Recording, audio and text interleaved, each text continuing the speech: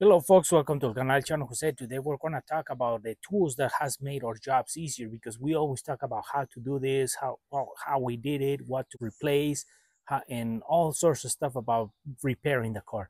But today we're going to share the tools that had made to perform the job faster and to get it done within time matter. So today we got a few tools that we have uh, acquired with time and we're not representing or advertising. We're just using our personal opinion. To begin with, we have the M12 electric ratchet. And what this tool has done is that we have decreased the amount of time on taking a bolt out or putting it in. So this tool, it has a forward and reverse uh, setting. And uh, the thing about it is that once you put the bolt in or the nut, and then the battery dies, you can just take the battery out, replace it with another one that wasn't your charger, throw this in the charger, and then you can keep on going with your job. So this is made by Milwaukee, but there's other brands out there with these this kind of tools, and once you buy it, it's gonna be worth it. So that's the M12 hand and electric ratchet. The other ones that we have uh, purchased and have made our jobs easier is uh, extendable ratchet and we bought this at uh, Harbor Freight. And this is the half inch. And uh, you can go just like a regular ratchet. And you can extend it to make it as a cheater bar as well. And the thing about this is that if it goes bad we can take it to Harbor Freight and exchange it for another one. So we have the half inch and we have the 3 eighths and a quarter inch on the other side. And it's extendable as well. So we can always uh, go a little bit longer and if there's not enough room we can always use it at the regular length. So we have the 3 8 and a quarter inch. And just like a regular ratchet and it can be extendable. So another tool that has made our job easier or faster is a ratchet wrench. So these we bought a metric and standard wrenches they're open wrench on one side and the other side is a ratcheting wrench so you can have to flip in our case we have to flip it to take it off to put it on or take off the bolt or nut that we're putting in. So where these guys don't go in we can hold it and uh, or use the ratchet to put or take off the bolt. So this is another good investment that we have done and it has made our uh, job way faster sometimes when we have to use open and close end wrenches because this one has a ratchet. So that's one uh, tool that has that we have experience that has improved our job. So another one that is a little bit more expensive is a m18 uh, impact wrench taking wheels off or putting them back on. This one same thing you just take the battery out you put it to charge and if you have an extra one laying there you just put it back in and then you can continue on the job. So it used to be where you have pneumatic you have impact wrenches with a had to turn on the compressor run a hose and then try to get to the job and sometimes the hoses wouldn't be that long.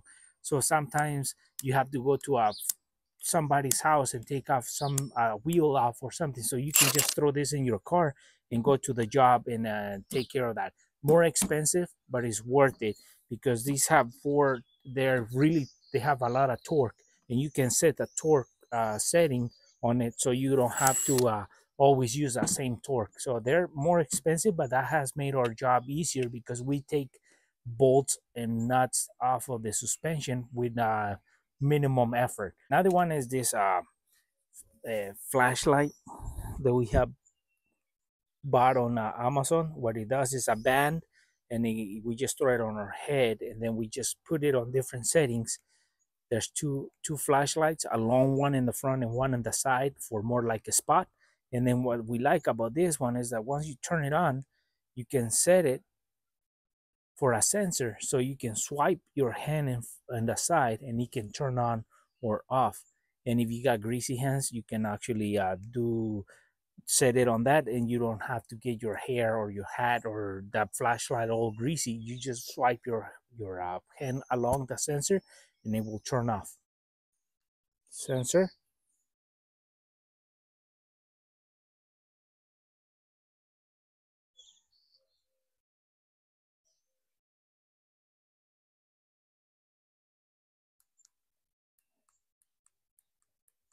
There's the other flashlight. So pretty handy. This there you can find them in uh, Amazon, and uh, we recommend getting you one of these because this band is pretty light. It, it shoots a lot of light, and it has two settings: brighter and a little bit more dimmer. So you can actually finish a job if it's getting dark. So even for just around the house, this is actually pretty good. Another thing that we have acquired and it's been helpful all the time when we're doing mechanical work or even just around the garage when we drop something that is metal is this extendable magnet.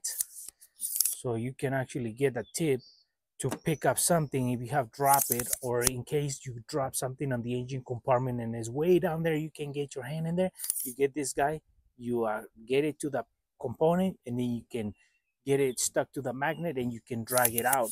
So eh, they're pretty handy. These magnets are pretty handy in the mechanical world or like i said in your garage. When you drop something between the two boxes and you can reach it just get that guy and you can actually extract that metal out of there. So pretty handy. Um they're not that expensive. You can find them in auto parts for like a couple bucks five dollars but trust me five dollars can get you a long ways because these guys are gonna actually help you so you don't have to get out of the position that you're in and try to reach for that bolt or metal that you dropped so that's pretty handy. No regrets about that. Another thing that now getting a little bit more into the electrical world of the cars, we have uh, use a test light.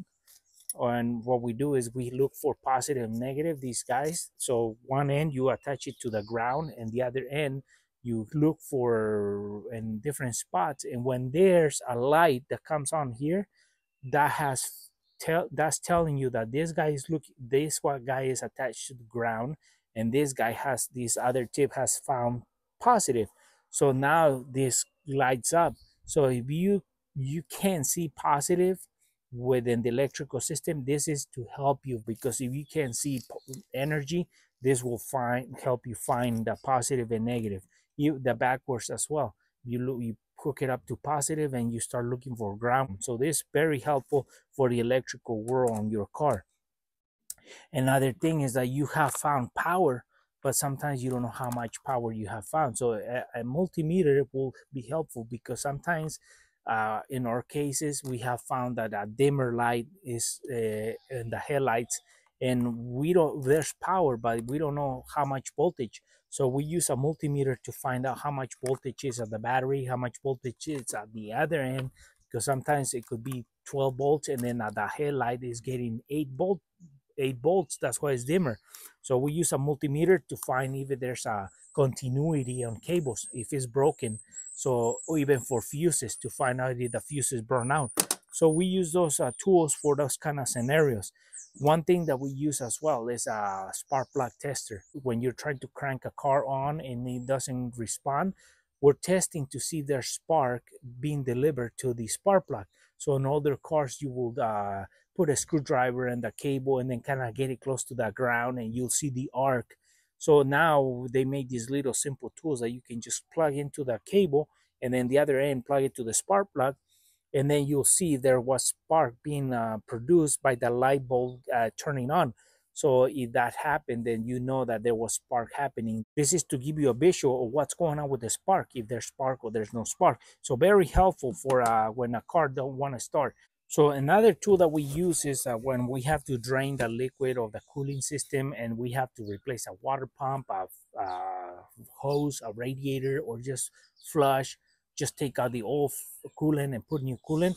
We use what's called the spill-free funnel.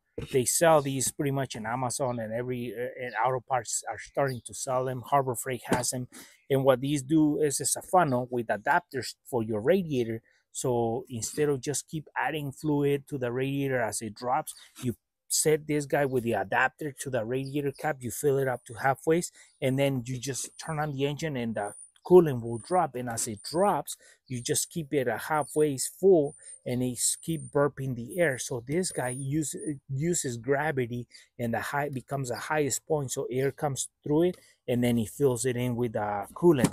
So this guy is very helpful because we have to uh, all the air out of the engine so that way we get a really good reading from the sensors and the engine performs better. There's no air pockets caught inside the block and that way it performs it cools down as it should. So the uh, this funnel uh, we had it for a few years now and it's been working great for us. So every time we have to do a job with the draining cooling out this guy goes in to fill back in the system. Last but not least is the battery charger smaller. So this tool has a quick start. So you try to start a car and it will jump jump it. And it has a charging for lithium or regular acid batteries. So sometimes you're troubleshooting a car and then the battery so much of trying it you drain the battery down. So now you have to take it to a place to get it charged. So what we do is we once we have the car resting for a little bit we plug this guy in we charge the battery back up and so that uh, when we come back we can continue troubleshooting that scenario. If we're replacing a sensor or something we have this guy charging the battery while we're doing something else. So this is keeping our this is eliminating the time of us taking the battery to get it charged somewhere else so we charge it on the spot so we can continue with the job. So very helpful. So this is a, just a basic tools that we think that are very helpful or has made our jobs e easier and faster the, um, like we said, we're not advertising, we're just sharing information and tools that can be useful. And if you like some of these tools, do your research and buy, buy the brand that you like or you prefer. All of our videos are about how to do it, how we did it, and what to replace, what to look for. But we never share the information about the tools, and we wanted to take a step back and show you some of the tools that we have use to make some of those jobs easier. It's not about having the fancy toolbox, it's about having the tools and knowing how to use those tools. Because a tool, as simple as it is, if you know how to use it, it can be a very, very useful tool. So with that said, folks, for our friends who are watching a video, haven't subscribed to our channel, please subscribe. If you like a video, give us thumbs up, share it, and we'll see you soon with more videos here in el canal, El Chano Jose.